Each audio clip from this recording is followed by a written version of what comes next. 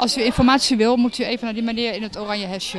U weet niet waarom u hier staat. Ik weet zeker waarom ik sta, maar er is mij verzocht om naar hem toe te wijzen. Nou, het is geen demonstratie, het is een klimaatvriendelijke barbecue. Zoals je kunt zien, iedereen is hier van harte welkom als ze vanuit de politiek zijn om kennis te maken met plantaardig eten. U laat zien dat u deugt. Nou, dat weet je nooit. Ik bedoel, dat is een toch, toch grote vraag, denk ik, voor iemand. Maar ik vind het heel goed dat er ook ehm, gerechten geserveerd worden die niet eh, eh, vlees eh, zijn. U staat met vegetarische eten in uw hand. Eh, de camera staat er klaar. Nou, wat, hoe mooi kan je het hebben in het leven? Dus u staat er weer mooi op. Ik doe hier ook wel wat nieuwtjes op. Dus u bent eigenlijk als politicus, bent u vooral voor de camera vegetarisch. Nee, niet alleen voor de camera. Dat zou ik echt niet durven zeggen. Dus laten we zeggen, ik eet denk ik eh, drie dagen per week vlees en vier dagen niet. Ik eet eh, niet heel veel vlees en vis meer. Maar helemaal niet meer? Nou, helemaal niet meer. Kijk, ik kom ook wel eens op plekken waar mensen eh, echt andere dingen bedacht hebben. Eh, en vette vis eh, eet ik nog wel ook gewoon voor de gezondheid. En ook daarom zijn we hier om te laten zien dat er een ander geluid is, namelijk een plantaardig geluid. Mevrouw wat harder. Voor animal abuse.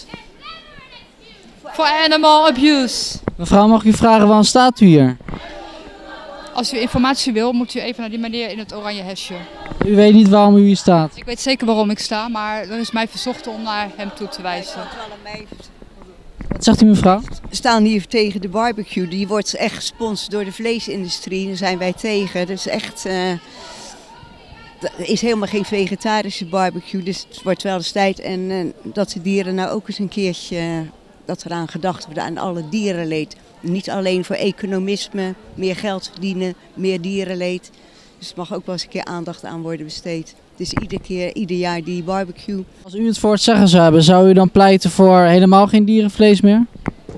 Liever niet, nee, want het is gewoon eh, heel veel plantaardige alternatieven. Dus eh, verbieden is, ja, ieder moet zijn keuze maken natuurlijk. Maar een dier moet wel een goed leven hebben gehad in ieder geval, dat vind ik wel. Ja. Ik heb eh, geen last van eh, missie en zending. Ik vind dat dit persoonlijke keuzes zijn. Eh, ik vind het wel van belang dat er voldoende voedsel is wat niet eh, eh, van dieren komt, wat je gewoon goed kan eten. Dus in die zin vind ik deze barbecue ook echt belangrijk.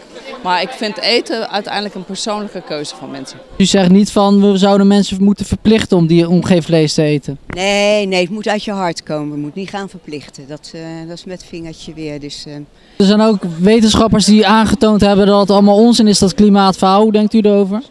Nou, ik denk dat die wetenschappers toe moeten naar een gesloten inrichting. Ik denk dat iedereen kan zien, eh, zoals van de week in Japan, eh, totale overstromingen.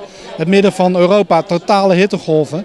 Het, is gewoon, het gaat de verkeerde kant op. Kunt u begrijpen dat er ook heel veel mensen in Nederland zijn die, die zeggen van joh, we zijn een beetje doorgeslagen. Nou, ik, waarmee doorgeslagen bedoel je precies? De rekeningen die duurder worden.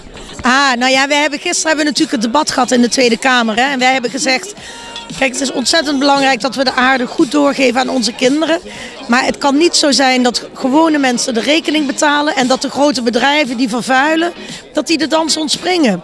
Dus die, de vervuilers moeten betalen.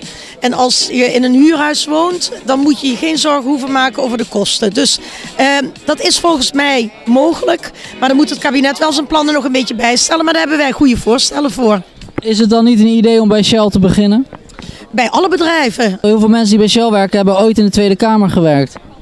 Ja, maar dat, ja, maar dat moeten mensen ook vooral zelf weten waar ze daarna gaan werken.